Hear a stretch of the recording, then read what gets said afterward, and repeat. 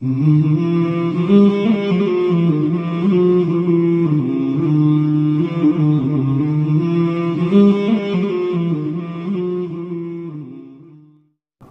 حضرات ہم سے یہ سوال کرتے ہیں کہ اکثر و بیشتر جو انسان کے ساتھ مجبوریاں لگی ہوئی ہیں، بشری تقاضے لگے ہوئے ہیں، اس کے تحت کچھ سوالات آتے ہیں۔ وہ یہ کہ ان میں سے ایک کنڈیشن یہ ہے کہ بندہ اگر ناپاک ہو، تو ناپاکی کی حالت میں کون کون سے کام کرنے چاہیے اور کن کن باتوں سے رکنا چاہیے۔ بہت سے لوگوں کو ہم نے دیکھا کہ سلام کرو تو سلام کا جواب نہیں دیتے۔ وجہ کہ وہ اس وقت میں ناپاک ہوں اور مجھے مناسب نہیں لگا کہ میں ناپاکی کی حالت میں سلام کروں یا سلام کا جواب دوں۔ اسی طریقے سے بہت سی خواتین کے خطوط بھی آتے ہیں۔ الگ الگ مسائل ہوتے ہیں۔ میں ایک مسئلہ یہ بھی ہوتا ہے کہ مولانا، ہم بعض اوقات مینسس کے دور سے گزر رہے ہوتے ہیں۔ ہر مہینے کی مجبوری ہے، نسوانی تقاضا ہے، جس کی وجہ سے یہ معاملہ ہمارے ساتھ پیش آتا ہے۔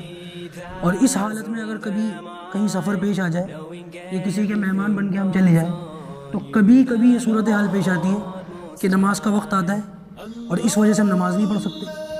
تو لوگوں کی جو ہے ہمیں بعض اوقات، کیونکہ لوگ سمجھتے نہیں ہیں کہ اس وجہ سے نماز نہیں پڑھ رہی تو تنقیدی نظروں کا سامنا کرنا پڑتا ہے۔ کبھی کبھی قرآن خوانی ہو جاتی ہے۔ تو قرآن خوانی کے موقع پر ہم سے کہا جاتا ہے، اب بھی پڑھو۔ اور اس مجبوری کی وجہ سے ہم پڑھ نہیں سکتے۔ تو ہم سے یہ سوال پوچھے جاتے ہیں کہ اس کنڈیشن کے اندر، اس صورت کے اندر ہم کون سا کام کر سکتے ہیں اور کون سا کام نہیں کر سکتے۔ موٹی موٹی باتیں یاد رکھیے۔ گا اللہ تعالیٰ ہم سب کو صحیح دین کا، جو ہے، صحیح دین کے مطابق زندگی گزارنے کی توفیق عطا فرمائے۔ وہ ایک ساتھی کہہ رہے تھے کہ اللہ کے کسی کے کسی کے بارے میں بات کر رہے تھے کہ وہ بڑے متقی شخص ہیں۔ مجھ سے کہہ رہے ہیں کہ بڑے متقی شخص ہیں۔ میں نے کیسے؟ کہ جو وہ ناپاک ہوتے ہیں تو وہ سلام کا جواب نہیں دیتے۔ میں نے کہا یہ کون سا یہ کون سا تقوی ہے؟ ناپاک گھومتے ہی کیوں ہیں؟ وہ متقی ہوتے تو ناپاک گھومتے سمجھنے والی بات ہے نا؟ تو یہ مسئلہ نہیں ہے۔ دیکھیں، ناپاکی کی حالت میں مینسس کی حالت میں، جنابت کی حالت میں سلام بھی کر سکتے ہیں، سلام کا جواب بھی دے سکتے ہیں۔ اور ذکر وغیرہ بھی کر سکتے ہیں، درود بھی پڑھ سکتے ہیں، اللہ کے رسول۔ یہ چیزیں منع نہیں ہیں۔ ناپاکی کی حالت اول تو سب سے پہلے آدمی جتنا جلدی ہو سکے پاک ہونے کی کوشش کرے۔ کسی مجبوری کی وجہ سے، سفر میں ہونے کی وجہ سے، یا پانی کی قلت کی، یا کوئی مجبوری ہو، کوئی ایسی وجہ ہو جس کی وجہ سے بندہ پاک جلدی نہیں ہو سکتا، تو اس صورت کے اندر وہ دو تین کام ہیں چنندہ جو وہ نہیں کر سکتا۔ مثال کے طور پر، وہ مسجد نہیں جا سکتا۔ نماز نہیں پڑھ سکتا اور قرآن کی تلاوت نہیں کر سکتا۔ بس یہ دو تین کام ہیں۔ باقی وہ سب کچھ کر سکتا ہے، کھا سکتا ہے، پی سکتا ہے، سلام کر سکتا ہے، سلام کا جواب دے سکتا ہے، تسبیح پڑھ سکتا ہے، درود پڑھ سکتا ہے۔ یہاں تک کہ وہ دعائیں جو قرآن سے ثابت ہیں، ان دعاؤں کو بھی ذکر کی نیت سے پڑھ سکتا ہے۔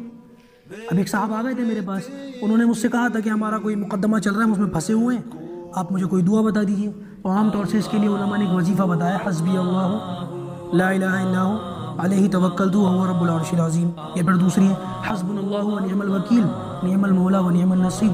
اور یہ دونوں ہی قرآن کی آیت ہیں۔ اب اگر کوئی بندہ اپنے لیے اس دعا کا اہتمام کرتا ہے، ورد کرتا ہے، اور کسی وجہ سے وہ ناپاک ہو گیا، تو یہ بندہ، اب ظاہر سی بات ہے، ناپاکی کی حالت میں قرآن تو پڑھ نہیں سکتے۔ تو علماء نے لکھا کہ قرآن کی صورتیں یا قرآن کی آیتیں وظیفے کی نیت سے، ذکر کی نیت سے پڑھی جا سکتی ہیں۔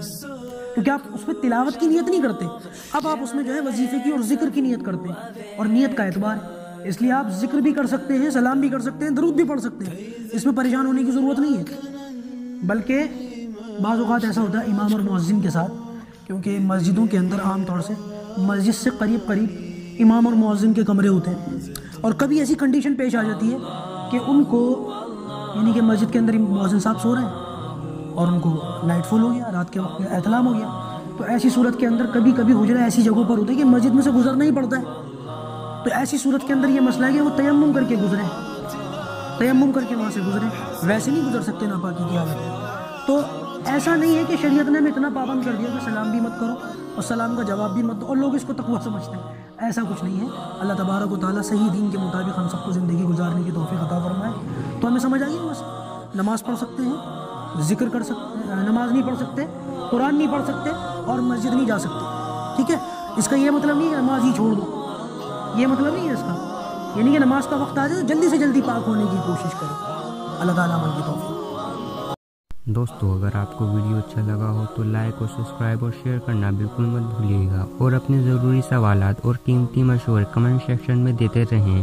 ہم انشاءاللہ ان سوالوں کے جواب بھی ویڈیو کے ذریعے آپ کو دیتے رہیں گے۔